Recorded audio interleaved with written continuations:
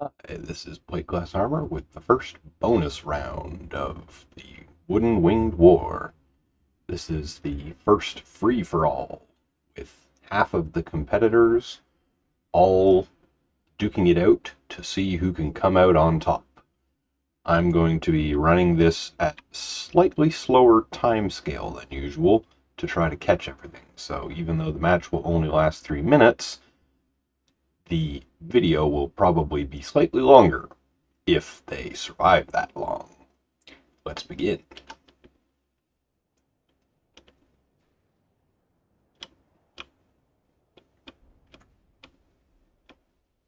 It looks like a lot of planes are converging over here with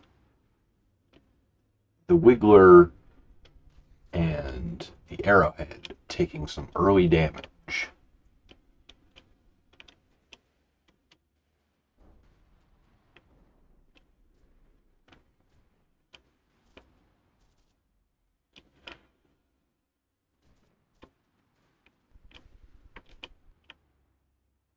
And with a big melee in the middle, it looks like the first one in the water is the Vienna sausage, with the Wiggler narrowly on its heels, although neither one is technically out yet. The Arrowhead is apparently being viewed as the greatest threat by several ships, as it is getting fired at the most often. Oh, and the Siphon is out, which means it probably had an ammo detonation. And a sausage is slowly racking up the DQ points and some large midair collisions here as several planes are ending up in the water.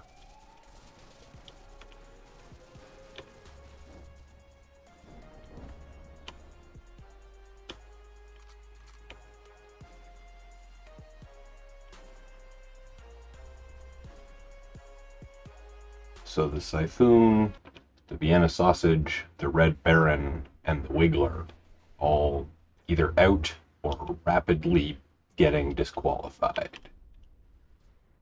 With the Bootleg Duck, the Chartreuse, the Risen God Iron Lard, and the Arrowhead still in the fight, although the Arrowhead and the Chartreuse are both heavily damaged.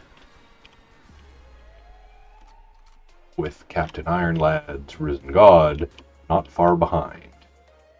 Currently doing the best is the Bootleg Duck, sitting at 85%. Oh, and it looks like the Chartreuse has had all of its propellers knocked off other than one of the turning propellers. So it's getting disqualified in the water. And it is down to the Arrowhead versus the Bootleg Duck.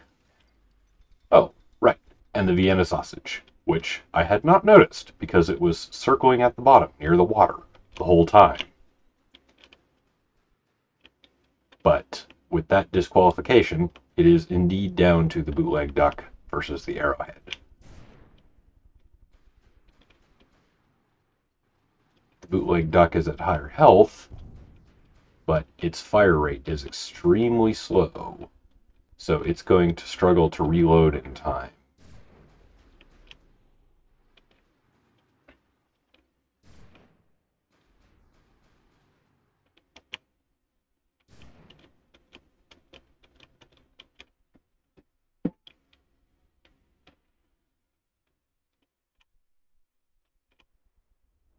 The arrowhead is starting to tumble which means I think a lot of its control surfaces at the rear have been destroyed.